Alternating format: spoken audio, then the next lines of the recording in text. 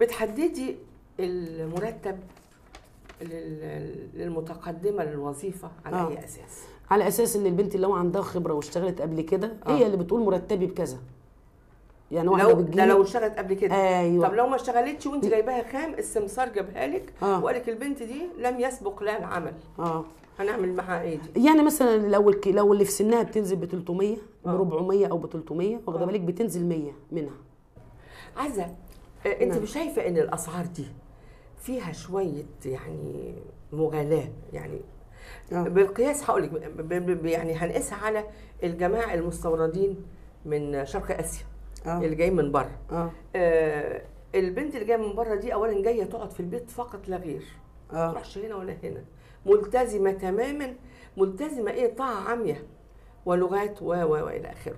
أيوه. آه، دول بياخدوا آه، الأسعار بتتراوح دلوقتي ما بين آه، 150 وساعات 200 دولار?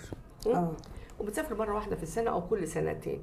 أنتوا مش شايفين إن في خطر داهم جاي لكم؟ خطر كبير قوي قوي جاي لكم من الناحية دي وعشان كده مش لازم تغلوا قوي في الأسعار. بس أقول لحضرتك تكسبوا حاجة الأرض تكسبوا الأرضية ليكم. أقول لحضرتك حاجة مش أنا اللي بغلي ده البنت اللي بتيجي أو الست بتيجي ما البنت تحدد. جاية لسه من بلدهم. لا. ما شافتش شكل الجنيه لسه؟ آه. معلش بس هقول لحضرتك حاجة آه. اللي بتيجي أساسا اشتغلت قبل كده ما قليل اللي بيجي لسه أول مرة.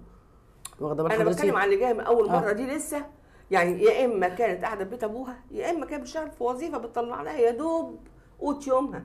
فإحنا النهارده لما نطمعها من الأول ونقول لها أنت هتاخدي 300 أو 400 جنيه كتير.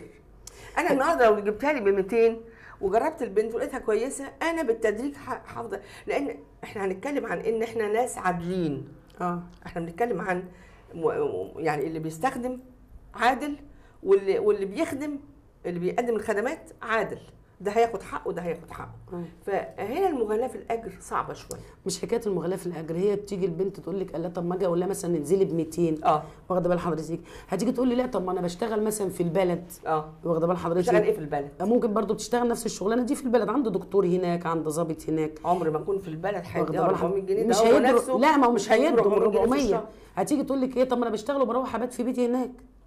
يعني بشتغل بالنهار وبروح ابات في بيتي. أو مثلا بشتغل في الأرض أو مثلا بشتغل في في جناين آه. وباخد كذا. واخدة بال حضرتك